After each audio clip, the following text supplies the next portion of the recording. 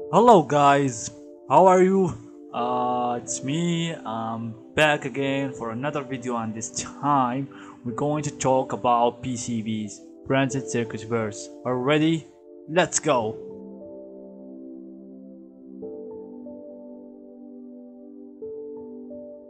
The world around us is populated by electronic devices. Some of these devices are subtle, while others attract a lot of attention.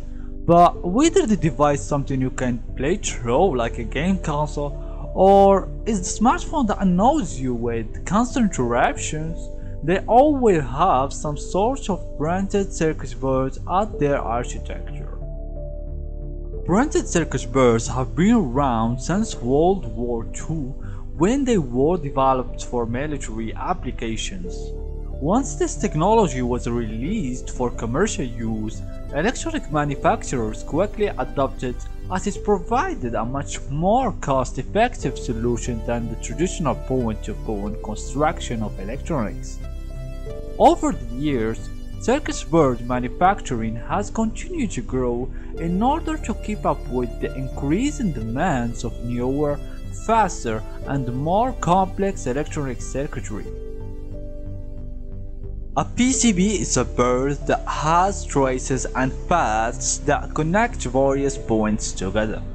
In the picture, there are traces that electrically connect the various connectors and components to each other. In another way, a PCB allows signals and power to be routed between physical devices. Another important thing is the solder which is the metal that makes the electrical connections between the surface of the PCB and the electronic components, and it also serves as a strong mechanical adhesive. The construction of the PCB can be done in three ways, namely single-sided, double-sided, and multi-layer. The components on a PCB are connected electrically to the circuits by two different methods, such as hole technology and surface mount. In hole technology, every component consists of a thin leads which are pressed through tiny holes in the substrate and soldered to connection boards in the circuits on the reverse side. In surface mount technology, J-chip or L-chip terminals on every component get touched with the PCB directly.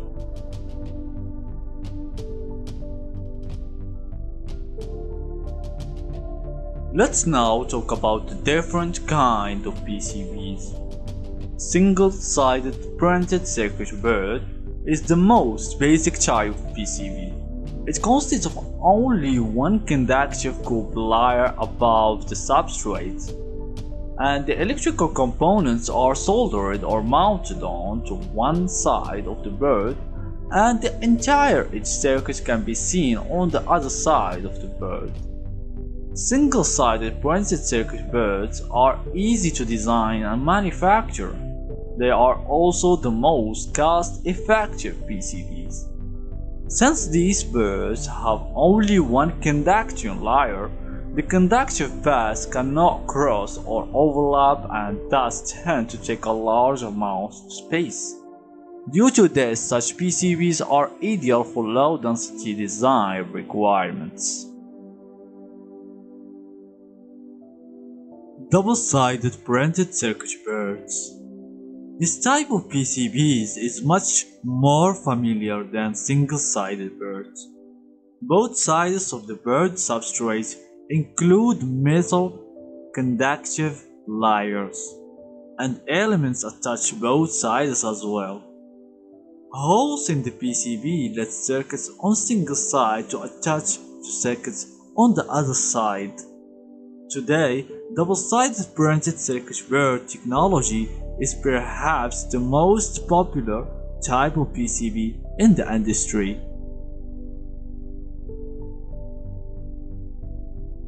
Multi-layer printed circuit boards A multi-layer PCB, as the name suggests, consists of more than three double-sided layers. The layers are made of a conductive material like copper which are interconnected through holes that have a technical name which is vias.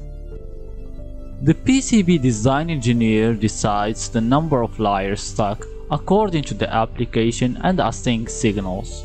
For example, power, ground, high-speed signals, etc. For higher compactness, the number of layers is increased. This way, a multi-layer PCB helps in reducing the overall size of the PCB.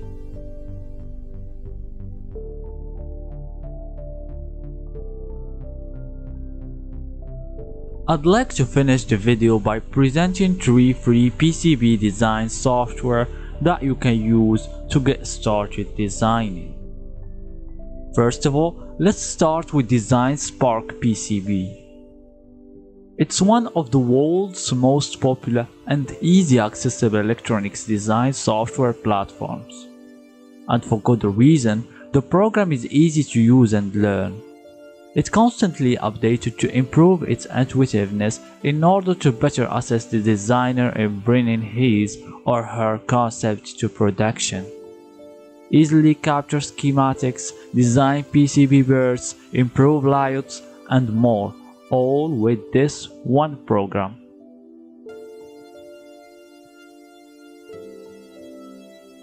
The second software is ExpressPCB if you are just starting out designing printed circuit boards, then ExpressPCB is a good platform to use. It's a very simple design platform, both in terms of learning how the ins and the outs of the system as well as actually using it in daily basis. Some feeders are a bit dated and delivery isn't that big, so it's not the best of the best but it's good enough to use for personal projects and for those which just getting started in the field. And finally there is KiCad. The two main feeders that are great about KiCad is that it can be used for any size bird. Yes, there are programs that limit this like Eagle for example and KiCad can be used to create designs with any number of layers. But with this being a free program, there are some pitfalls of course. The user interface a bit dated and the library a bit limited.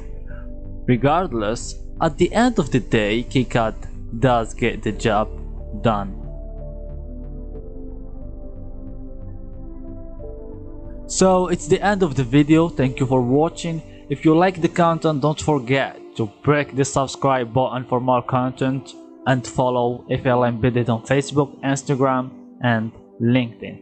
See you next time for another video. Peace out.